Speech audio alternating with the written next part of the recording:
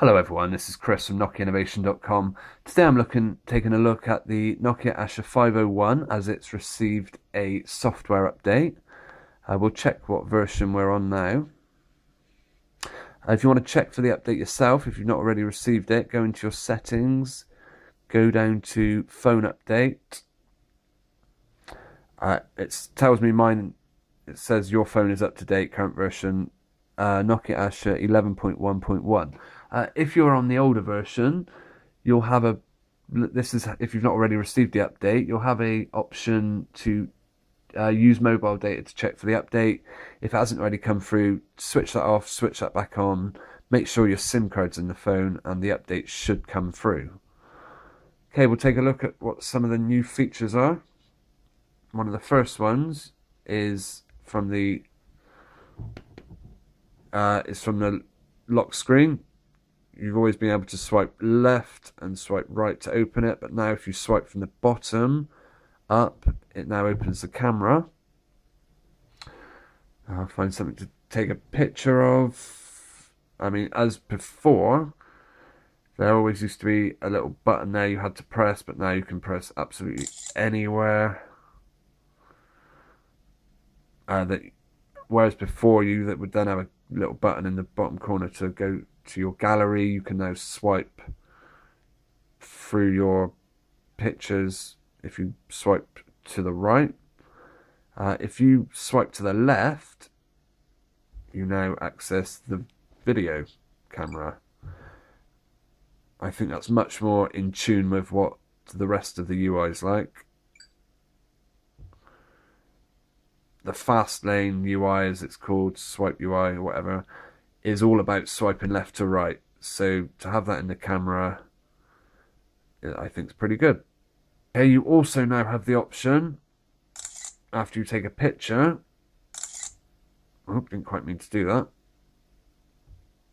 After you take a picture, you can tap it and you can, there's now a Twitter icon. You can change that to Facebook or to some of the other social networks it supports and it's easy one touch sharing. You've also still got that option there to share using that. So yeah, some nice changes to the camera. Another change we have is to the Fastlane, which is what the user interface is named after. You can now update your status you can change that from Twitter over to any other social networks you signed into. I know Facebook's supported. I think there's a Russian one. If you've made a phone call recently or sent a text, like this one for example, that's a fake number. There's a little icon there, just ring it. And yeah, I believe that's slightly new as well. Maybe that whether that's because 5555555 doesn't have, I haven't assigned a picture to that contact yet, possibly. But yeah, you now have the option to make a call from Fastlane, which I think saves a lot of time. You've also got the option to close different uh, entrances on the Fastlane, for example. If you don't want anyone to know that you dialed 55555, you can just hit the X. You've still got the option to clear all at the bottom, which I think is quite good. Uh, one of the first thing, one of the things you'll notice after you receive the update is it wasn't particularly big. I think it was about seven megabit update over the air. Uh, is you've now got the WhatsApp icon on your screen.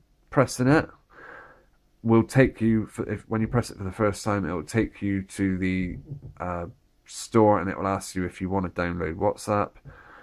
Once you do, that all works great. I've put all my contacts onto onto the 501, and nothing as yet seems to be.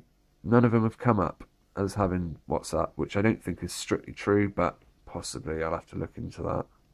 Uh, just taking a look at Nokia conversations, at some of the of what the new changes we'll find. It says the substantial improvements to the Fastlane.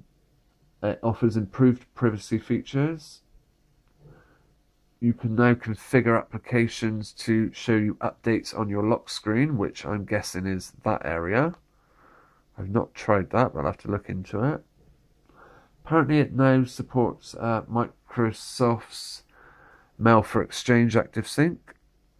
So if you want to sign into an account using that, all well and good. Apparently, there's some new apps have come through. I've not tried many. I've not tried any of them except WhatsApp, which hasn't worked too well for me.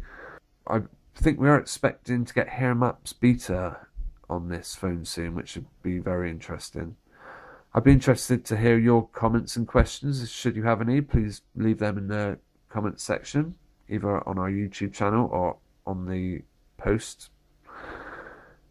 This is Chris from Nokia Innovation. Thanks very much. All the best.